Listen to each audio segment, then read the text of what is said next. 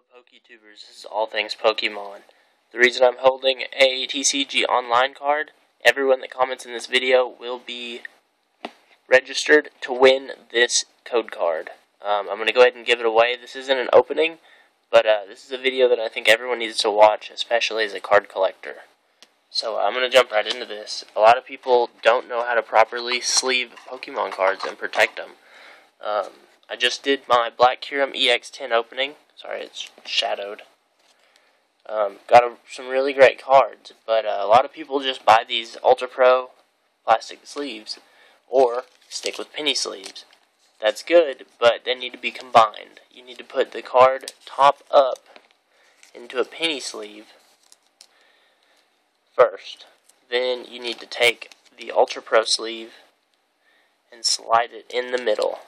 Um, a lot of people don't know that. And just tap it down until it goes all the way down. Sometimes the penny sleeve will stay behind, so you just kind of pop it open and redo it. Just pull it back out, put your card back all the way in,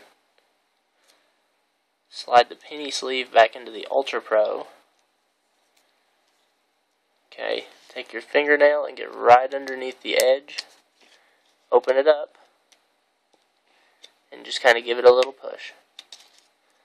And then at the bottom, your penny sleeve is going to be all the way down, and your card should be hovering. That's going to keep all the water, moisture, you know, just in case, off of your card. It's going to keep it protected very well.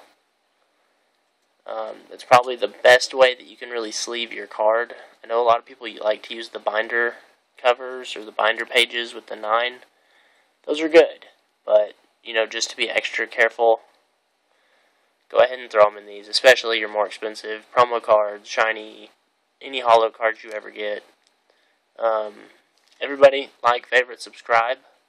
I'm going to go ahead and do one more card that I pulled, one of my favorites that I'm going to go ahead and throw in a sleeve. I'll do one more. This is my Ninetales Reversa I just got. Take it face down in the penny sleeve.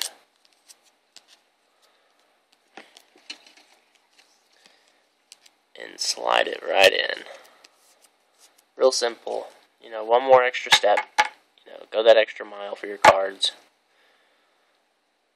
And that's it. That's all you got to do. Very simple. It'll make your cards last 10 times longer. Thank you guys so much for watching. And like I said, everyone that comments on this video, I mean, tell me, hey, this isn't what I do. This, you know, I'd rather do it this way.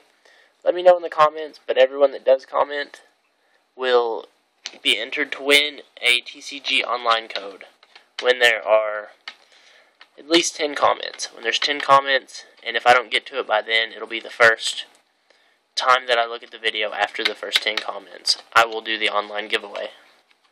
So, make sure you comment, subscribe, because I'm still doing a code card giveaway there too.